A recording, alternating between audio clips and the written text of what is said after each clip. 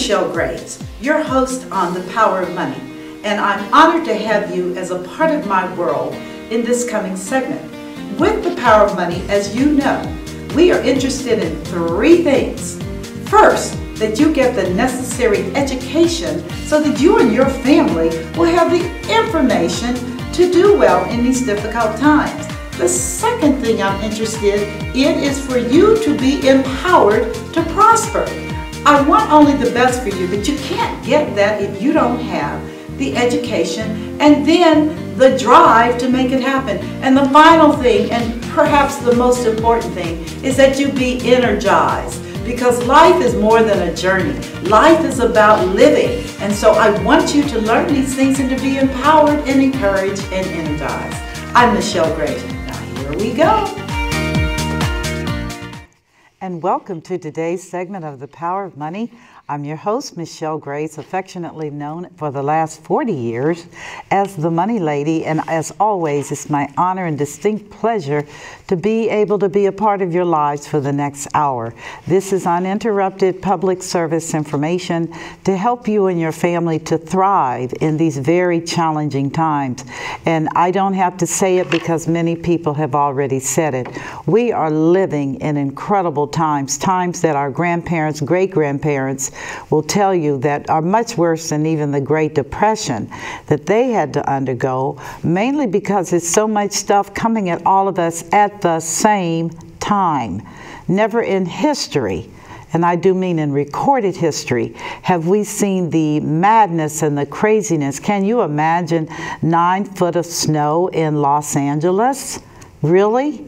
And just horrible weather conditions, seasons out of order, um, people out of order, and then don't talk about COVID, which despite what anyone may say, even though we're not talking about it, COVID is still on the loose. Even though the media is minimizing it, COVID is still on the loose. It has taken over 1 million people's lives in this country. I don't think anyone has been unaffected by it, and it continues to ravage in the form of long hauling with people that cannot seem to get rid of this thing, period. So we're dealing with that. We're also dealing with economic uh, disparities, economic chaos in all parts of the world. Uh, we're dealing with the disease and sickness.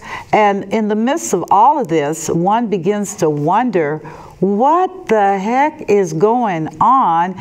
Is it the apocalypse that the book of Revelations has foretold of? Uh, we talk about wars and rumors of wars, but with Russia officially in Ukraine blowing up everything for now more than a year, can you believe that? Well, I shouldn't say more than, yes, it is more than a year. Uh, we are in the month of March at the point of this telecast. So Russia is still over there blowing up everything, determined to uh, um, be the great giant that it feels it is. And needless to say, let's not miss China. Let's not miss China because China is a force to be reckoned with. I ought to know I lived over there back in the day. And I'll tell all of you, frankly, I'm not going back. I saw all I needed to see in mainland China. And 20 years ago, even, uh, they were adamant that Taiwan was going to be taken back, even if it had to be annihilated. And I'm telling you, it's looking more and more like it might be annihilated. They're not interested in doing anything other than proving a point. So we've got all of these things going on all around us all around us. And the United States, uh, like it or not, is knee deep uh, in a lot of stuff, some that we should be in, some that we should not be in. You cannot run the world. You cannot be in all places at all times uh, without cre creating peril in your own country, which is exactly what is happening in the United States. We continue to deal with a trillion dollar debt problem and facing the debt ceiling again uh, with Congress having to make some harsh and hard decisions. There's not a lot of wiggle room because debt will suck the life out of a country. It simply will, and there's no difference between this debt we're trying to serve and all of the things that we're trying to manage at the same time with this endless printing press money, money, money.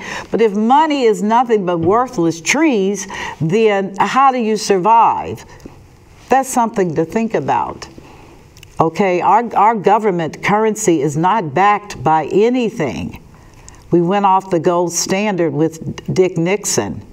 And I personally, I think it was terrible. I think we need to be under, this is my opinion, don't go crazy. I feel we need to be on a gold standard because it keeps us accountable. Right now, we're under the uh, in God we trust, and that's a question mark because I don't know how many people in this country even believe in God at this point in time, in whatever form you want to choose. They don't believe in anything, they believe that they are the God.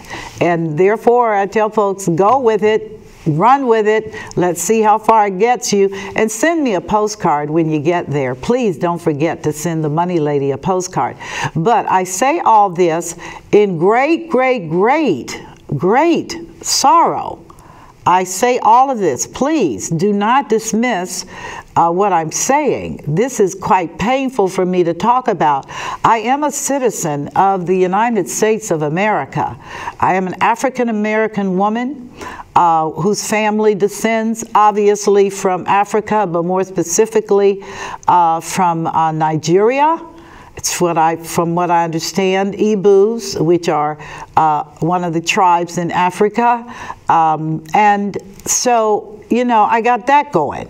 And then I look at here we are where we cannot even provide for our own people. We are so busily monitoring everybody else that our own citizenry are going down the tube period. Not just people of African descent, but people from everywhere. White people are going down in flames.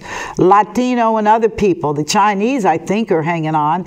But the reality is that we are not able to give uh, full attention to our own people in terms of trying to create a living wage and, and trying to ensure that they have decent housing and that they have food. And food, of course, is essential for every nothing happens if you're hungry. Nothing. Everything comes to a screeching halt.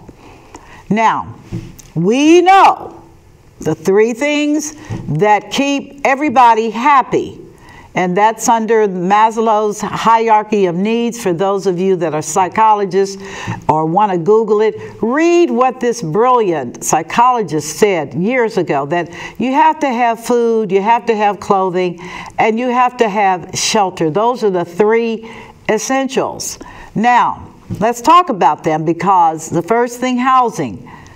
If you are poor in America, I don't know how you're making it because the housing costs in America have just gone through the roof. Even in rural areas, the housing costs have gone through the roof because the rich have bought second homes in these rural communities and have raised the prices so that the people that live out there can't even afford to live decently. That's a problem. I was reading an article about Jackson Hole, Wyoming, a beautiful area of the country, and was rich people live there, but regular working people live there too, and working people can't afford to live there, even doctors and people that are more affluent. They can't because the price of everything has been pushed up by the rich getting second homes. Is that fair? Is that right? Does it matter? That's something to ask yourself.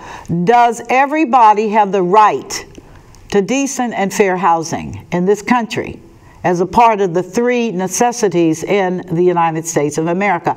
Or should a person be forced to pay $12 to $1,500 a month to live in a one bedroom apartment? And how are seniors supposed to manage that? And for so many of us, including myself, who are quickly moving into that category, I am a senior, and frankly, I find $1,500 a month to pay for a one bedroom apartment to be obscene. Obscene, like really. I find it obscene. And who can do this? Okay? Who can do this? And yet, this is becoming the standard, not just in your big cities, but also in your rural communities as well. And so, we're being challenged by housing. If you think I'm kidding about the crisis in housing, you need to drop by any hotel in the United States at night, and you will see cars parked in the lot with humans in it sleeping because they have no place to go. Everything is in that car, including their children. Now, I'm sorry, but I don't believe the United States is a banana republic, and I don't believe that people should have to live like that. They stay in the hotel lot because it's lighted, it's safe, and believe it or not, if they're smart, they can slip in the hotel in the morning and wash themselves up in the restroom area. That to me is just deplorable, obscene, unacceptable. Okay? We're worried about other countries, and, and, and I'm not excusing that. We're a compassionate country historically. We've helped other people. But I'm talking about us right here, right now. Okay? So we're now compromised with housing. That's a major. That causes stress in the community. Why? Because I don't care who you are, all of us know people who are poor. And if you're so rich that you don't know, then maybe you need to get your chauffeur to give you a ride into some of the communities so that you can see out of your own eyes what is happening. But you know what's happening. You got good eyes and you can see. You know that people cannot live on $20 an hour with rent being over 50% of their pre tax, not after tax, because it's worse, pre tax earnings. So we've got this rent thing. And then the second thing we're dealing with is clothing. Well, clothing today, thanks to the Chinese, is not an issue. Clothing is abundant, plentiful. I didn't say it was high quality. What do you want? But clothing is available. And I encourage people to donate, to give. There are uh, organizations that do not resell your clothing, but make it available to the poor and to children. And so clothing is not so much an issue over here, it's an issue in other countries about clothing, but over here it does not appear to be an issue. Um, people that don't have a lot of income can get vouchers, typically from the Catholic Social Services and those kind of nonprofits, to, and even churches have thrift stores. Although I'm deeply offended that you would put a price tag on your clothing because it was donated Okay, so which means that you're going to profit off of the free will giving of your supporters. I, I don't like that. I don't like that. If people gave, and of course, net your operating expenses. We all understand it costs money to run any kind of thrift store, but do you have the right to charge way over your operating expenses to make profit? That is offensive. Okay? Should a dress cost $13? Really? Really? A used dress? A used pair of pants? Should they shoes? Should they? And you say, well, you know, everybody's entitled to make a living. Then you need to remove the tag thrift and just leave the name up for what it is, which is clothing and used store.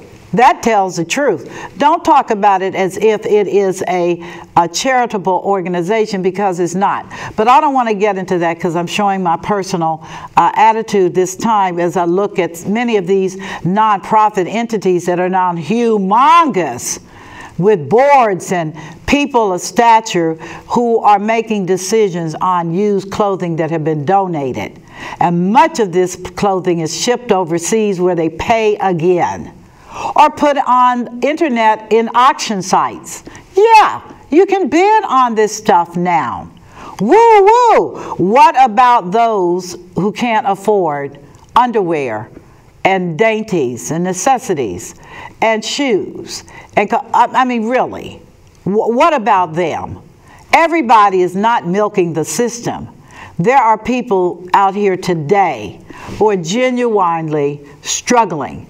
And for the record, somebody may not have told you this, but I just did. All you got to do is do the math, like I said. In the good old days when I was in banking, 25% of your income was to be allocated for housing. That's everything. Everything. Your rent, your electricity, your water, 25% max. Today, like I said, 50% of your income is going, after tax, is going to just housing, not electricity, not water, just housing. And then don't have children. Oh my words. Child care? Right. You can't take them to work. I mean, you can take your dog to work, but you can't take your children. That's something to think about okay? Employers, you let them bring their dog, but they can't bring their children. And children are expensive. Daycare is expensive. Driving them to daycare is expensive. Having a, a Humpty car or hoopty car is expensive. And the poor have no money. Period. Zero. Zero. Zero. Zero. Zero. So, We've covered the clothing, which is deplorable, but is available. Okay?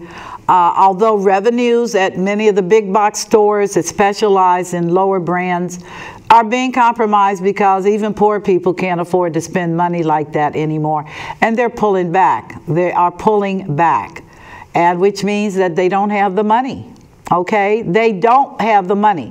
Walmart and Target are not cutting it when you have no money. Okay, so I'm just trying to make you aware because when you look at your circumstances, whether they're good, bad, or indifferent, just be aware that not everybody has it good right now in the United States of America. We're beginning to model the other countries in terms of our people and our lifestyles.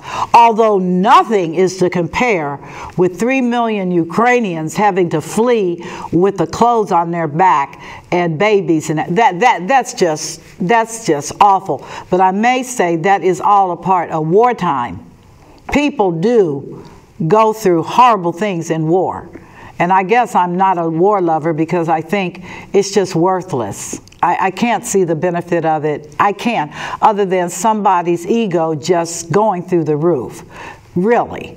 And I'm saying this because we've been through World War I, World War II, we've been through the Korean War, we've been through Afghanistan, uh, and now we're dealing with war in the United States because all of the cell groups that are blowing up are blowing up over here.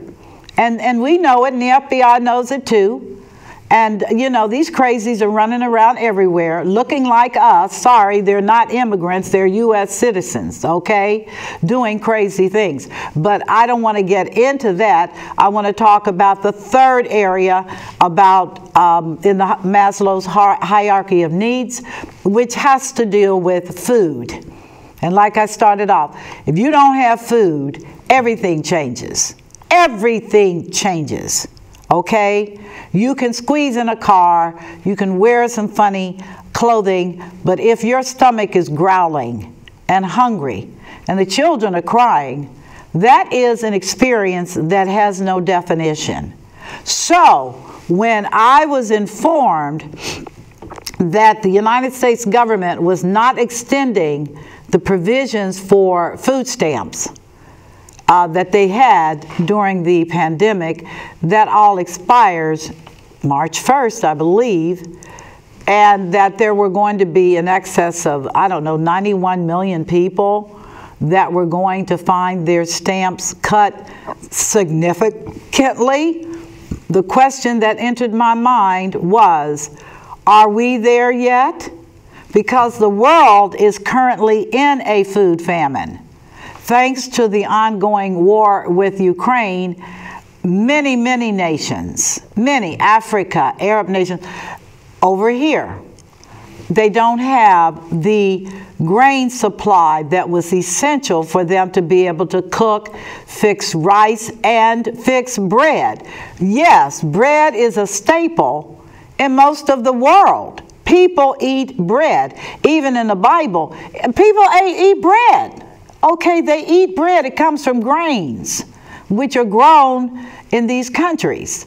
And now they don't have that or the grain price is so expensive they can't afford it. And for the record we're not exempt. Why do you think chickens and eggs are so expensive? It's more than the, the, the avian flu which chickens get. It has to deal with the cost of feeding the chicken because it's a living, living entity and it has to eat feed, and feed derives from grain, and primary source for grain is Russia and Ukraine. Yeah. So feed prices are off the chart and people can't afford to feed their chickens. And there's only so many chickens that you can turn into fried chicken, okay, before prices begin to reflect. And chicken eggs are expensive. Even in the, I mean, I buy my chicken eggs for the record from farmers. I do. Why? Because I don't like middle people. Secondly, because I like fresh eggs. I'm from Kentucky. I don't like anything looking real weird. I want to know that the egg came from that chicken okay, and not artificial intelligence or not a make believe chicken, but a real live chicken. And that's a female, by the way, because males cannot have eggs. So I, I, look forward to my chickens. A real chicken, the yolk is a deep orange. It looks happy, it looks healthy. Okay, that's the way I like my chickens. I, and, and, the, and the eggs, I, same thing. The Amish got it right. But having said all that, the majority of people do not do what I do. They go to the grocery store, and that's where they come into shock awareness, which is, oh, oh, oh no, you have got to be kidding me.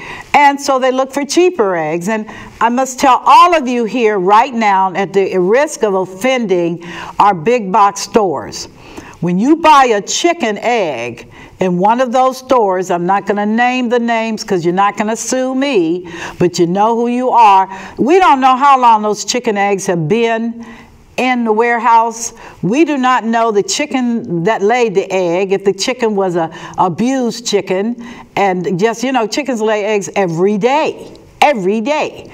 And the happy chickens have big fat eggs, and the sick chickens have scroungy eggs. And which type of chicken do you think is in your grocery cart when you buy chickens? Now, there's some good companies that these big box companies sell, but again, the reality is that those chickens and those eggs have been out here a long time. So I'm giving you a sidebar because for those of you that, are, why are the chicken eggs so expensive? Well, chicken eggs are expensive because the, the price to feed them, you know, they got to eat, and uh, the price has just gone through the roof. And farmers are not the benefactors of the high prices. Farmers are trying to keep their heads above water right now and pay um, top dollar for grains to feed their chickens. In fact, one of the farmers that I bought my chicken eggs from, he's out the chicken business altogether. And I'm just like, what? And he's like, oh, it's just, it's just too expensive. It's just too expensive. Okay? It's just too expensive. Clothing, well, they don't need clothing because they're covered with feathers, but they do need a place to live. They're in a coop, and they do need feed to eat, and that's expensive okay? And then you do have to clean up after them all the time. So you have to be actively engaged in, in the chicken industry. So you do understand why the big chicken companies, they don't care nothing about a chicken. They throw them out there and they hope for the best and take the eggs. And when they get tired of the eggs, they take the chicken. And what a miserable life for a chicken. Ah! My God, miserable. So, but back to this famine here and the cutback in the SNAP, which is a special uh, enhancement on food stamps to enable uh, low income and poor people to have food. Now, how does it benefit them? Well, it keeps them fed uh, and um, it also keeps Department of Agriculture in business because it's through that conduit that farmers sell their produce and then they are then sold uh, to stores and then stores accept the SNAP card. Well, all that's changing. And I'm here to tell you that the impact of that for all you smarty pant economists, smarty pant economists, policymakers, and elected officials, do you have any idea what the impact of people starving in America on a large basis is going to look like? Do, do you? And I, I understand the politics. Poor people don't vote. Why? Because they don't think they benefit. Are they right? I don't know. It must be some truth because it's hard as heck to get them to vote. Okay? It's hard as heck to get seniors in many cases to vote for the same reason. Why should I? Nobody cares about me. Well, with that kind of legislation in motion as we speak, I don't know what you call that. Other than I'm here to tell you right now on this particular episode of The Power of Money with Michelle Graves that the food famine is not coming, the food famine is here. I share with you 2023 was going to be an incredible year. An incredible year. Everything is pointing to, oh no. Now, I'm going to share with you something. What do you think is going to happen when people are eating ramen noodles all day and their children and that they don't have money to take care of even the basic necessities. What, what, uh, uh, what do you think as a nation we're thinking? Because clearly you're not. And I know what you're going to say. This was, this was only for the pandemic, and this was just to help people get through. Well, I'm going to tell you something. We are still in a pandemic, okay? But it's beyond disease. Oh my words. It's deeper than COVID, okay? The pandemic we face in this country is greed. Yeah, which is I want it all and you get none, and I want it all and you get none. And that's going to wind up blowing up everybody because whether you like it or not, and I believe this, and I've got plenty of people that will support me on that, how a country treats its less capable people speaks loudly on the integrity and character and ethics of that country. Yes, it does. People that leave people starving and pressed in a country that is flourishing and bountiful with billionaires, billionaires who make more than the entire population of the poor well, that and don't get don't get it twisted, please. I'm not against billionaires. Pay your taxes, billionaires, and do what you're supposed to do. Okay? Take care of the widow, take care of the homeless, take care of the poor. You certainly got enough money to do it. And you still got enough money for your kids, your grandkids, legacies, foundations, everything else. But there's an ethical issue here. And that's what I'm talking about. Why should people be starving? And why would you put, put our country in a position where we are now going to experience what other countries that have food famines are experiencing, which is chaos, which is rioting, which is confusion, which is people doing a little bit of everything. Now, case study. This actually happened. In Detroit, Michigan, Motor City, big boys, cars, boom, boom, boom, Motown. When Detroit had its economic come to Jesus moment, and the big companies started shuttering and closing down. And there were thousands of families that had no money and literally roamed the streets of Detroit at night. How do I know? Because, ladies and gentlemen, I was there on a missionary uh, activity, and I'm going to tell you, there were parts of Detroit, Highland Park, that had roaming families, roaming communities of people that had no place to live and no food to eat. Hear me. This is real. I'm not making it up. I'm telling you what I saw and what I experienced. I had to go out at night feeding people cereal and milk and food. They had nothing. The middle class became the homeless. The automobile assembly line worker became a homeless man and, ch- and children and wife, roaming the streets with the big tin containers with heat to stay warm. Detroit is very cold, folks. The hawk is not kidding in Detroit, Michigan. And I'm going to tell you the chaos that happened behind that situation. Garbage collection ceased. Why do you think the truck garbage dumpsters stopped coming? Because they were being mugged. They were being robbed. Why would you mug a dumpster? Because inside of a dumpster is food. Yeah, food. And it blew me away because I'm just a Kentucky rural girl. What do I know about people eating in dumpsters? People eat where there's food, folks.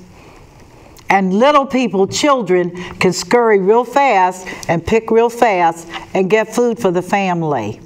Okay?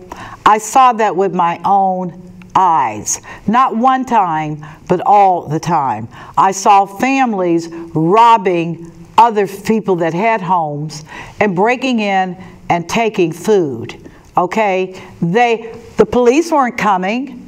Why would a policeman show up there if he valued his life? And please don't quote me, but their responsibility, that's their job. Nobody is going to die for the sake of enforcing the law with people that are hungry. They just hope that nobody gets hurt because the ambulances aren't coming. No, no. The fire truck is not coming. No, no. I'm painting a picture here so that you can understand why one little act, and it's not a little act, it's a big act with big consequences, real big consequences on our population. And it's been repeated all over the world, Venezuela and other. When people don't have food and they don't have access to food, they will become really, really uncivilized, and they will become difficult people to deal with. They will. Food will do that for you. This is why in the scriptures, Jesus was always feeding people. I'm like, why is he always feeding people? Because hunger and a growling stomach makes everything impossible. You talk about mental shutdown. Uh, hey, animals with two legs and a set of teeth and hands, uh, they're going to get food. And it may come at your expense or may come at someone else's expense.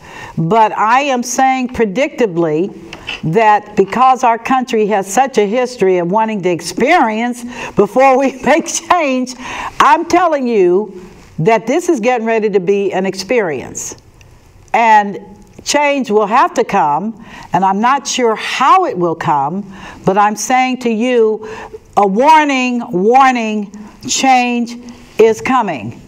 Food famine in other countries, Kenya, Pakistan, Peru, Indonesia. I could go on and on and on and on and on about food famine. Other countries have already experienced it, are experiencing it right now as we speak. Speak. The political apparatus is going to blow up. Why? Because when you're in your safe little home and these people are all tearing up everything, trying to get food and protesting, you're next. You're next. There's no safety, and there's no safety net. That was the purpose of that program, was a safety net. Same thing with stimulus. I, I, I'm amazed. I mean it.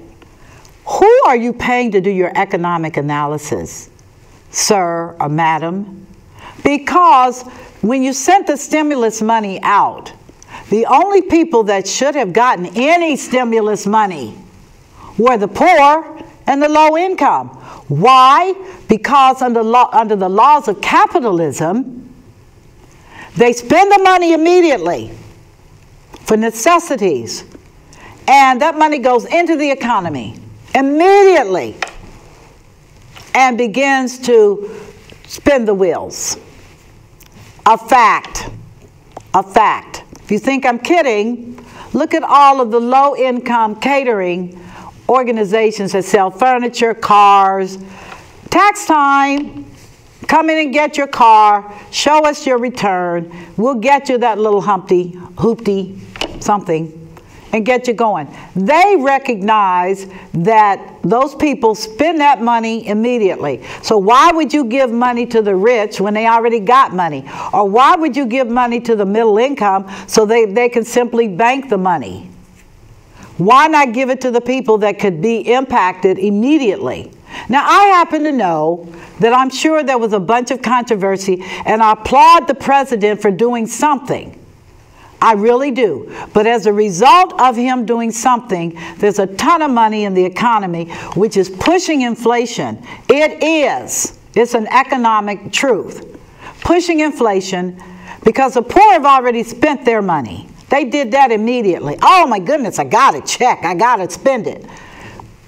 But because everybody else lagged because they didn't have to spend it, put pressure pressure on demand because people had money and they could not meet supply. Perfect, perfect equation for inflation. Talked to you all about that in previous shows. A year or so ago, I said, It's coming, it's coming. And you're going to know when you go to the meat market and meat has doubled in price and you can't afford meat. Oh my goodness gracious. You can't afford a steak. What's the world coming to? and you can't afford your staples because of the push of all the money in the economy. That's what the Fed is trying to do. They're trying to create balance so that inflation can be brought under control. And am I optimistic? No, I'm not. I'm not optimistic at all. Why? Because what's pulling and pushing inflation down is more than just too much money. It's a lot more going on out here today. A whole lot more going on. We got the debt, we got Social Security. Oh yeah, my, my group's got to got to get taken care of because we paid into the system. We paid into the system, folks. Okay, you got Medicare, which is health care for seniors, paid into the system on your paycheck, and then you've got military. The defense budget's 18%. Well, you got to protect everybody. So what's left are all these little nitpicky things. And oh, least I not forget the debt. The debt, which is money we had to borrow to keep this machine going, and money that we have to pay interest on to keep this machine going. And you get the picture. There's not a whole lot of room for fritz fratting and trying to negotiate because the big boys are going to be there. Seniors are not going to give up Medicare. Are you kidding me? They depend on it to live. They don't have pensions anymore. No, they don't. They have 401ks, which are just like playing Ponzi's or dice but their core is still Social Security. Medicare, they paid into it. It's theirs for their health care. When you get older, body parts start wearing out, and it's not like you can replace some of them. Some of them you have to fix and everything. And of course, like I said, you got all that going, and then you got the military. And personally, we better have the military. oh my God. And their families. Why? Because that group is committed to upholding the Constitution, being men and women of great honor and service, and protecting us from enemies because, frankly, a whole bunch of the world doesn't like us. So you need protection. And you need all that goes along with the mil- military, which are your aircrafts, your bombs, all that stuff, which is a part of the military spending. Okay? So I'm saying all that because when we talk about food famine, and what is now on our trajectory that was created legislatively and now it's being eliminated, well, I, I don't know what to say. In France, history says that, who is it? The lady that got the guillotine, let them eat cake, which is bread. And they were like, oh, really? Because, like it or not, the numbers of the poor are vastly greater than the numbers of the rich. And you can go to an island all by yourself if you want. And I hope the best. I hope the sharks don't eat you for dinner.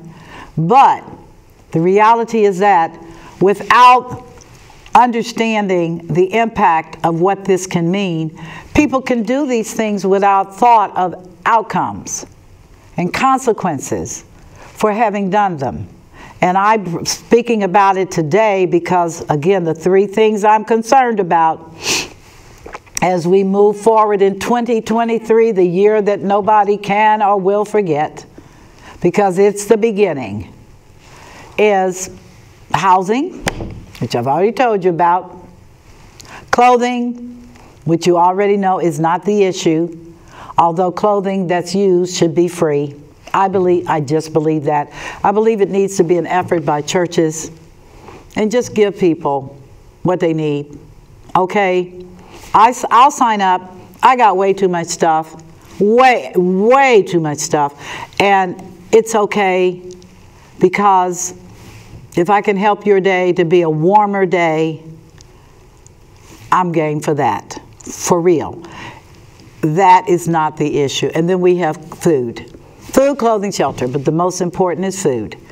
And now you're facing the loss of monies as a result of the elimination of the special provisions under the um, food stamp program that is designed to help low income people to eat. Now, you can think whatever you want, and please don't start talking to me about they need to get a job, they need to get a job.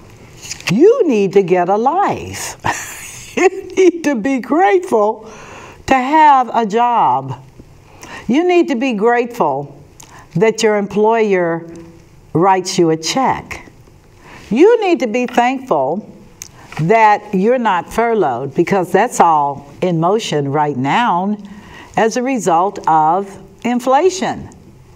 You need to be thankful that you have children that hopefully love you and will tend to you as you get older.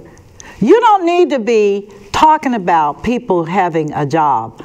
I truly, truly believe that most able bodied people, and maybe I'm just, you know, little Mary Sunshine, I don't think so. I really do think that most men would want to work. Okay? Even if it's just sweeping streets. People were designed to work. Men, especially, were designed to work. A man that does not work has got to have mental challenges or something else or disabled and can't work. But the DNA of a male is to work. So when you throw out that, well, he he's lazy, he doesn't work, then you know he's going to starve. But that is not the case with so many people. They're working poor people. They work every day, Husband works, wife works. She is a, she's a single mom. She's humping two jobs in most cases, with the oldest child babysitting the other ones. Well, why do they have babies? Well, excuse me. Excuse me. Why do they have babies? Why do you have babies? For the same reason. Two people get together, and voila, here comes baby. Okay? Well, they need to do better. Well, okay. Then how are they going to do better when the laws that are on the books now really are not I won't even talk about Roe versus Ray. Wade, I, I won't even go there. Okay? I won't even go there because that's just too painful. But before pointing a finger and saying what they should do, may I suggest to you that there are some things you could do. And one of the things that you could do is you could call your congressman or congresswoman, call them and tell them, I, I don't like that legislation. I think that we, we should take care of poor people and make sure they have enough to eat. Can we do that? Can somebody rewrite that legislation? Can somebody extend the timeline because of the economy and what is going down the track? I mean, you don't have to be a, a crystal ball reader to know that things are not good, that people are sick from all the bad medicine and the lifestyle, that people are challenged because they can't get stable jobs, even though the job market they say is booming. And I'm like, but it's booming in areas that nobody has any skill sets. okay? they don't know how to apply and get the job. And then because they've been rejected so much, they've got fear. They're scared of not even being considered. So they won't even go. So what do they need? They need job advocates to help them so that they can get them in jobs and get them on the right track. I mean, that's, that's what everybody else does in other countries. They recognize you have to coach some people, and that's okay. How do you help women with children? Well, you start with decent housing, food availability, and training her so that she can get the skill set to go into the marketplace because the children are going to get bigger. These are practical, sensible things you can do. I don't know why it takes a billion people to try to come up with strategies it's really about looking at how things impact on our society. It's not about, oh, they're just poor. Well, that affects us, okay? It brings me no pleasure to see a woman in a grocery store struggling with trying to figure out how to pay this bill with children in tow. She doesn't have enough money on her card, and the children are pulling on her. And that's real life. And then she has to go to work because those are the rules. There's something wrong with that equation. That's all I'm suggesting to all of you. To think about it. Be aware, but please, my God, be awake. Be awake and see what it is for what it is. Okay? And there should be a little bit of empathy in your heart to see the necessity of doing something. Okay? Our seniors do not deserve to eat cat food. Although cat food and pet food is expensive. So let me change that conversation. They don't need to be eating ramen noodles. Okay? They don't need to be eating stuff like that or filling up on soda pop so their stomachs won't hurt. Period. They, they don't need to be living like that. And so if we're in a society where our seniors are being malnourished, our young people are being malnourished, then you're setting yourself up for a problem. You really are. You're setting yourself up for a problem. It's going to impact them for the rest of their lives. For people that have lived through the Depression, I can tell you as an advisor they never forgot the hunger. They never forgot the hunger. They could talk about all the great uh, New Deal programs and what uh, Franklin Delano Roosevelt did, but they can never forget the hunger, which is their daddies could not get jobs. They didn't have enough food. They were splitting an apple. I remember a story my great grandmother told me that uh, there was an apple tree in the neighborhood that was owned by a person the property was owned by a person that didn't live in the neighborhood. They were black people. The property was owned by a Caucasian gentleman. And they were hungry, and the tree was ripening. And nobody was eating the apples, and the apples were going to rot, so they thought. So they started picking the apples for their families to eat. And did not the police show up and arrest them for picking apples from that tree. Uh, is that insane? Is that insane to arrest a man or a woman for picking ripe apples from a tree to feed their family? That's what I'm talking about when I say that is insane. And where's the balance here? I said to her, What happened? And she said, To be honest with you, um, that policeman that did that could not come into that community after the tree incident without risking getting his tires slashed, getting uh, stuffed eggs thrown at him. They had plentiful eggs. And he was a miserable guy. And he said, But I was just doing my job. I was just doing my job. And he was. But his job required him to exercise insanity in motion. Leave those people alone. Leave people alone. Um, as a sidebar, I saw a family not too long ago uh, picking fruit off of a, a tree that was in a public area and they were busily climbing the tree and picking the fruit. And they looked like they were stressed. They looked like they were hungry. And I just said a little prayer as I drove by them, which was, please don't let the police show up and start arresting these people for picking fruit from this tree. Please don't let that happen, Lord. Please don't. And um, and was in fast moving traffic, or I probably would have even giving them some money. But my point being that the fact that people, I mean, this is America, my God. In Africa, which has plentiful food on roadways. I mean, everything grows over there. That's really where the great dirt is, over there in West Africa. And people are always eating food off the trees. They aren't eating bread, but you know, the common people do eat fruit. And they eat things that are free and on government property, and that's how they get through it. And their government does not arrest them for eating fruit on government property. Isn't it something? Now, I don't know about private property, because, like I said, the situation that my great grandmother told me about was private property owned by, she said, a white man in a black community, and he had a wonderful tree.